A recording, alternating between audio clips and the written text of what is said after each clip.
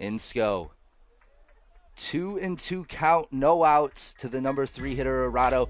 As that pitch taken, strike three, Ryan Insko.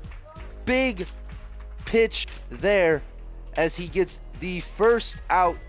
Chippewas lead five to two in the bottom of the fifth inning. No outs, two balls, one strike. Simpson goes, strike called, and that throw will get into center field.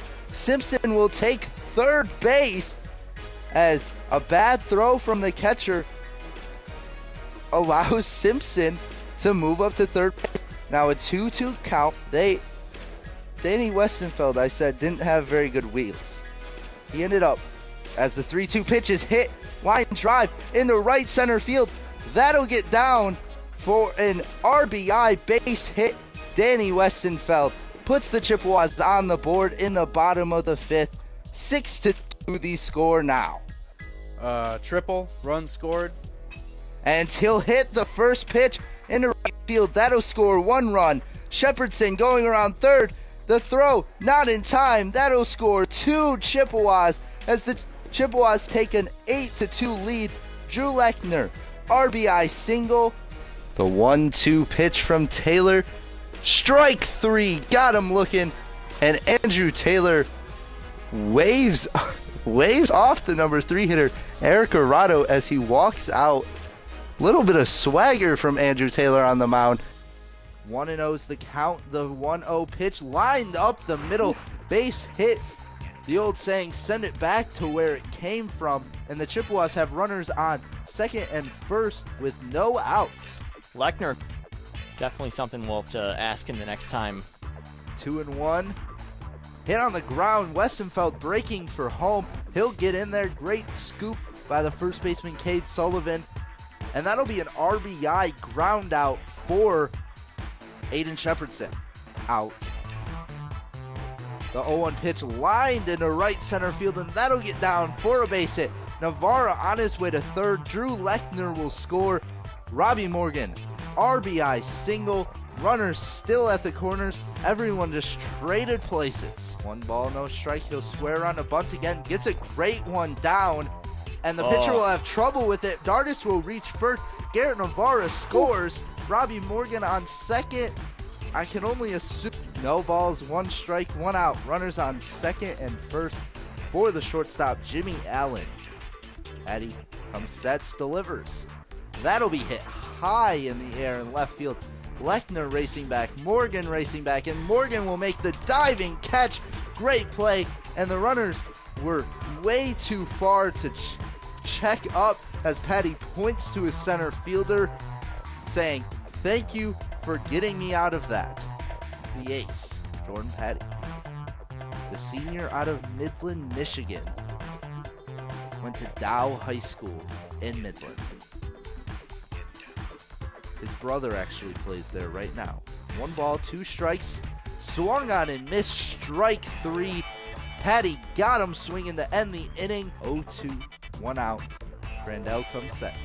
The 0-2 hit high in the air to right field, and that ball is gone. Adios, pelota.